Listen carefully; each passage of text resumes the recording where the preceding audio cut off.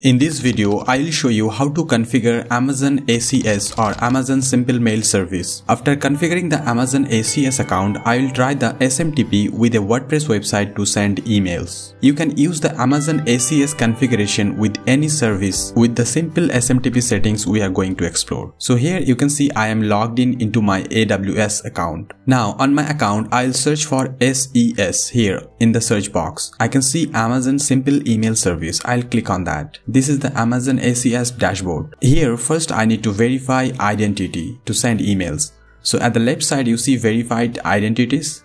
Here I will create an identity.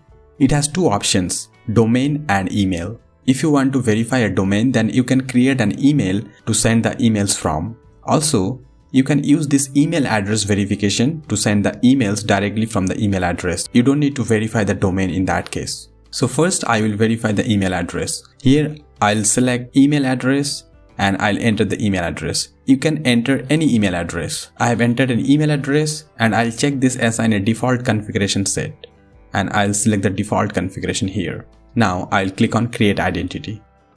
So it says verification pending. It will send an email to the inbox to verify the identity. You can see I have received the email from AWS.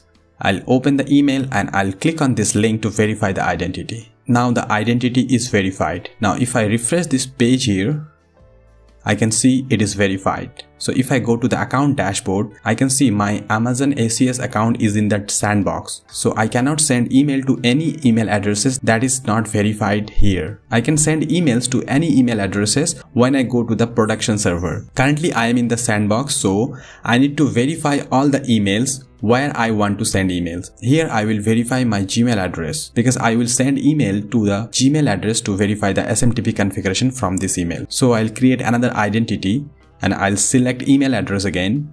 I'll enter my email address. I will just create the identity. I have received the email from AWS. Now I will verify with this link. Now when I go to the verified identities, I can see the Gmail address is also verified. I added this Gmail address because I want to send an email from this preview domain to the Gmail. So I had to verify it. To get the SMTP configuration, you need to go to this SMTP settings. Here, I need to create the SMTP credentials. So I'll click on this create SMTP credentials you can change this username, but this is for your reference only. So I will keep the default username in this box and I'll click on create user.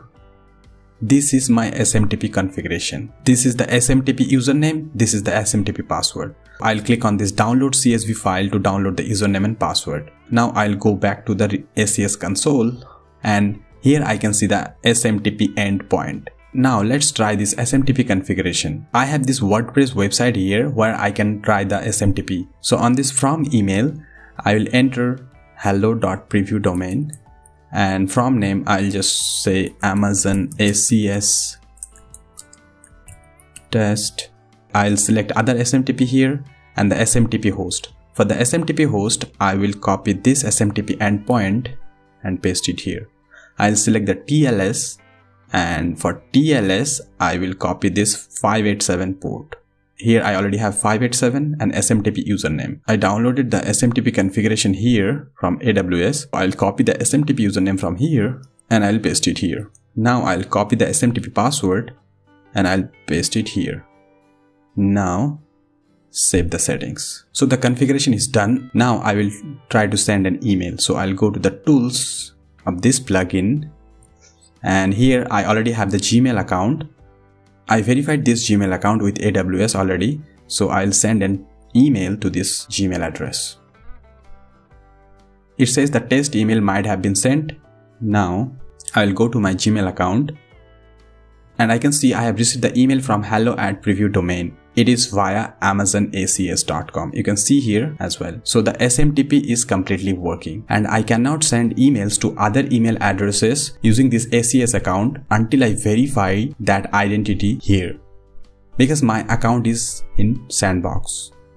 So when I am done with all the testing and everything, then I can go to this view get setup page and here I can request for production access. Here you see the dedicated IPs. Here you can enable dedicated IPs, but it will cost you extra and you can see the pricings here. Amazon SES pricing. The cost of sending emails from Amazon SES account is very low. Like you can send 10,000 emails in $1. You can use this SES configuration with any of the apps not just WordPress, you can use it anywhere where it supports custom SMTP configuration. When you need it, just come to this SMTP settings and you can create new credentials and you can manage your existing SMTP. If you want to use this SES account for transaction emails, then you should verify your domain instead of the email address. When you want to verify the domain, you can put your domain and it will give you some custom DNS configuration. You need to add them to your DNS settings on the domains. Then you can verify it.